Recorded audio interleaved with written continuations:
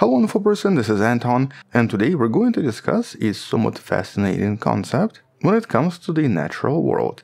The concept of invisible boundaries. Not political borders drawn by humans, but instead these really bizarre invisible lines that seem to separate the distribution of animal species in certain locations on Earth even in places where there doesn't seem to be anything physical present. And to be more specific, we're going to discuss the concept of faunal boundaries. And this recent study by Javier Montenegro you can find in a description that accidentally discovers a new one that seems to apply to at least one unusual species of jellyfish, but also probably a lot of other animals too. And so let's talk about this in a little bit more detail. But first, let's discuss some of the more well known faunal boundaries that have been studied for many years. And one of them you might be familiar with already the famous Wallace Line. A line that carves itself through Indonesian archipelago, delineating a stark difference between Asian and Australian wildlife. And this boundary was discovered back in 1859 by the British naturalist Alfred Russel Wallace. And interestingly, this line becomes visible geographically if we actually look at the continental shelf contours because this is all the result of the ocean levels being much lower before. During Pleistocene, the ocean levels were up to 120 meters or 400 feet lower, and we know this based on a lot of previous studies on global climate history. But even during this time, Asia and Australia never united. And so for approximately 50 million years, there was always deep water separation between two continental shelves, creating a major barrier for all of the flora and fauna. But because the ocean levels have risen now, we don't really see the line itself, but the effects of this line are present because the fauna on the left side are different from the right side. And interestingly, this region does contain at least one more line, known as the Weber's line, mostly running through the transitional area, tipping the point between the dominance of species for Asian versus Australasian origin. But in this case, this is technically a physical barrier that once existed on a planet a long time ago. But this new study examines something a little bit more unusual a mysterious barrier not on land, but instead in the deep ocean. And here our story starts with this unusual creature known as Botrynema brucei, a very common midwater Arctic hydrozoan that's usually approximately 3 centimeters across and looks like a very very beautiful semi-transparent bell, sometimes containing blue and white hues inside.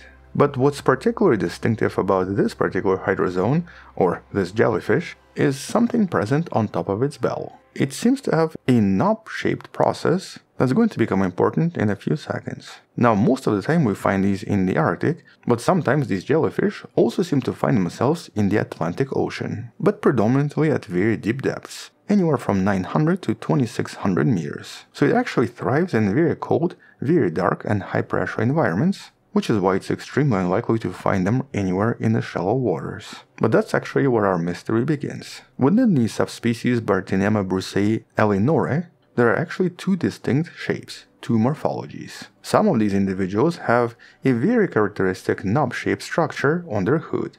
It's particularly visible in this image right here. But some of them don't. Their hood seems to be very smooth. And for the longest time it was assumed that these were two different species, but turns out that these are actually basically cousins. And so here, genetic analysis of these jellyfish revealed that despite their obvious physical differences, both knobbed and unknobbed forms belong to the same genetic lineage. In other words, it's the same species with just a minor difference. But things do get super complicated once you look at their distribution across the world, because here jellyfish with a knob can be found in the deep oceans all across the planet, most of the oceans and most of the latitudes. So basically here we're talking about some kind of a global traveler. But strangely enough, not the unknobbed jellyfish, or I guess the smooth jellyfish.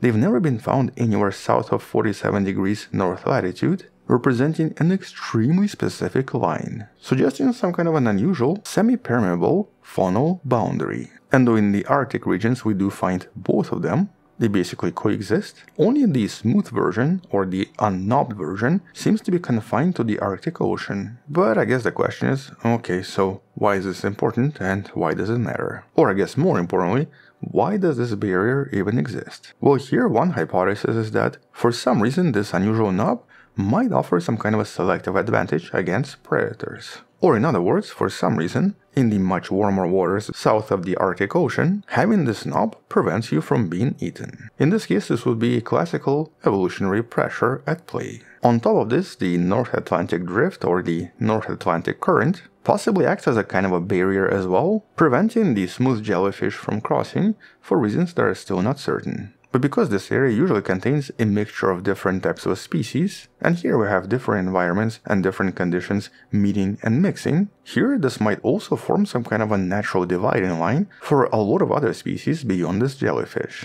with additional explanations also suggesting possibly some kind of a competition with species that might be present here. For example, here there's a sudden abundance of certain other jellyfish, like Solmissus you see right here, that seem to be just a little bit better at outcompeting the smooth jellyfish compared to the knobbed ones. What exactly why is, of course, uncertain, but that's not really the main point.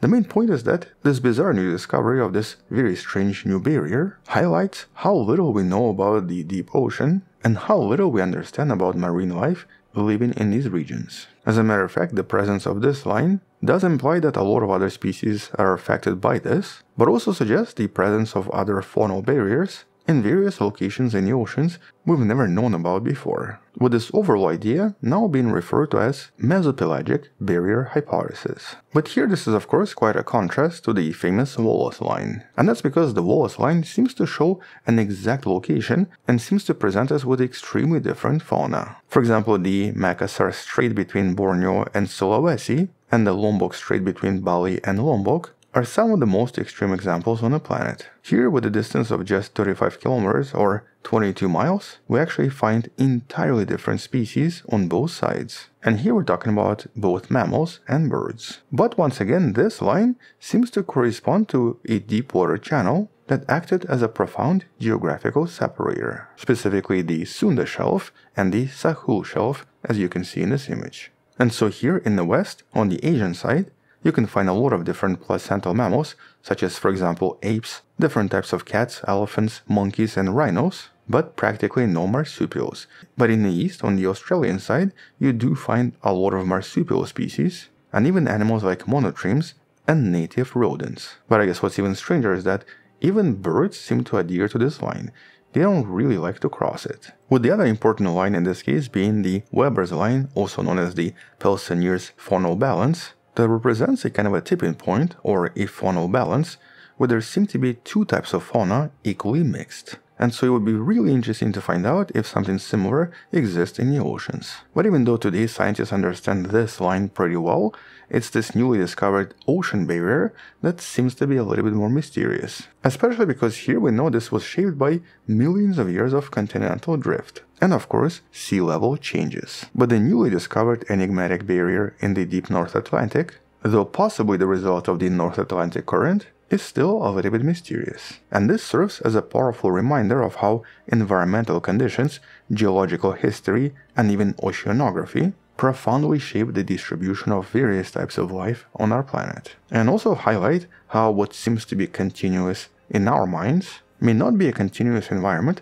for various fauna living inside. And so the open ocean in this case is maybe not so open for life. It does seem to contain somewhat subtle but insurmountable divides. But right now this has only been confirmed for these very specific jellyfish, and though it does serve as a testament for the incredible complexity and hidden worlds deep within our oceans, this is just the first of many future studies that are probably going to be tackling this in more detail. And so once we discover something else about these beautiful jellyfish, or once the scientists discover another faunal boundary somewhere out there, we'll come back and discuss this more in some of the future studies. Until then, thank you for watching, subscribe, come back tomorrow to learn something else, support the show on Patreon where you can find additional videos, videos without any ads and can DM me directly, or by joining the channel membership that grants you early access and a few other things. Or maybe by buying the Wonderful Person t-shirt you can find in the description. Stay wonderful, I'll see you tomorrow, and as always, bye bye.